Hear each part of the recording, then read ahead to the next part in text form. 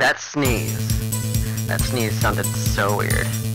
But yet, it's so natural. I don't get it though. How, how is I don't get how that sneeze is so grotesque for its style. And you know, it's like that there's another sneeze just now. And it sounded fake. Like it's weird. I could tell that there's between a fake and a real sneeze. Because in a real sneeze, you can actually see the body do a response, like closing your eyes. Or, in this case, I don't get the whole, when you sneeze, the, the, the air from your sneeze goes like 20 miles per hour or something.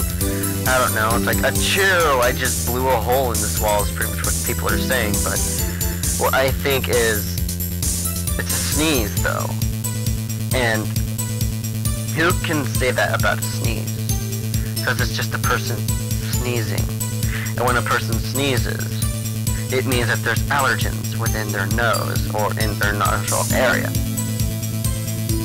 I don't get it, you know? It's like you when you sneeze, it's either from pollutants, dust, or from the flowers. Which flowers we smell all the time.